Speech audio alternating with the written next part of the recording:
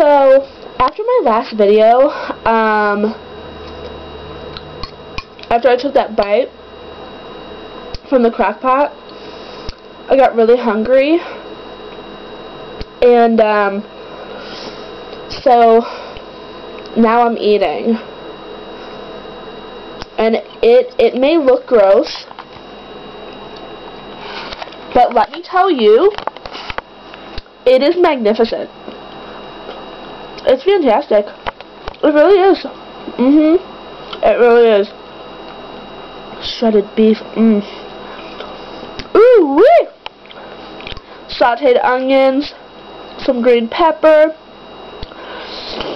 Mmm, some carrots. Some cooked parrots. Oh yeah. Oh yeah. And the juices from the meat that gets absorbed in the carrots and the meaty taste of it all. Oh my gosh. Oh, this is so good.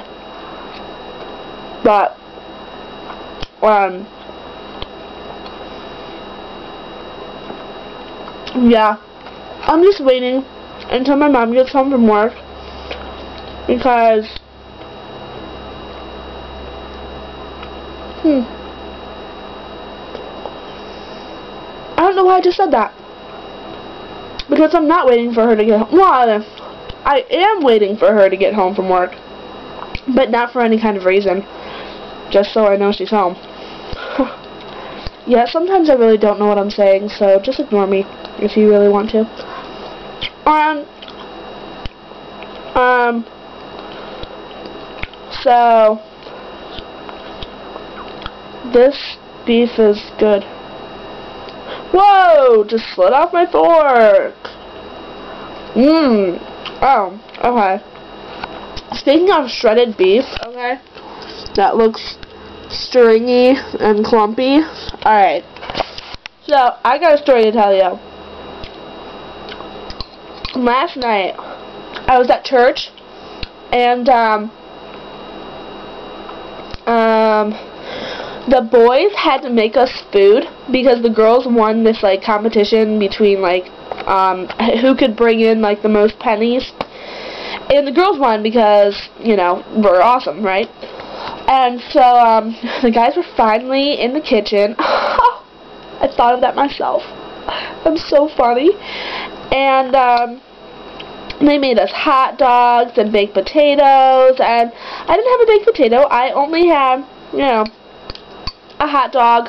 Not a full hot dog, though, because I had ate 14 mozzarella sticks right before I left. Why would I do that when I knew we were going to eat at church? I don't know. My stomach spoke for me. My stomach made all the choices during that time when I ate 14 mozzarella sticks, so don't judge me, okay? yeah, I could totally win an eating competition. Anyway, not the point of the conversation. So, my friend Richard, he he decides to get like one of the fattest hot dogs there, okay? And I mean, they are like this fat around. I've never seen such a big hot dog in my life. But I think it was because they were in there a little too long. They absorbed most of the water, which is really nasty. Because I felt Richard's hot dog, and it was mushy, and it was like squishy, and it was like, ew, that's watery nastiness. Anyway, so he still ate it, and um, um, okay, he still ate it. And he chewed it up, and I was taking pictures like the whole entire night. I was like, "Hey, I'm awesome!" Whoop whoop.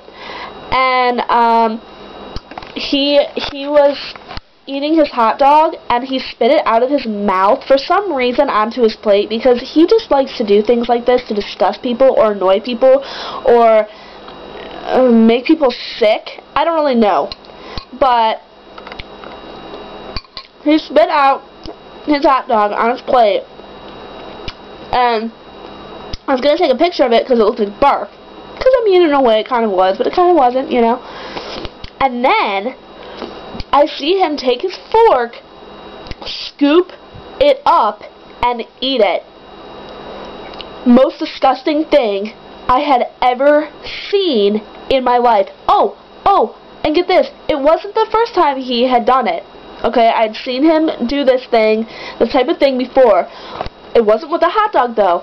But what made it even more disgusting, what made me gag, literally, two times just thinking about it, um, was because it was a hot dog. Hot dogs, you don't know what they're made out of. They are processed, gross, like, like, like livers and kidneys of turkeys, or I don't really know if that's true, but, but it's gross. Okay, that's what I'm trying to point out. It's nasty, all right, and the the, it's just he spits it out and then he eats it again, and that's just gross.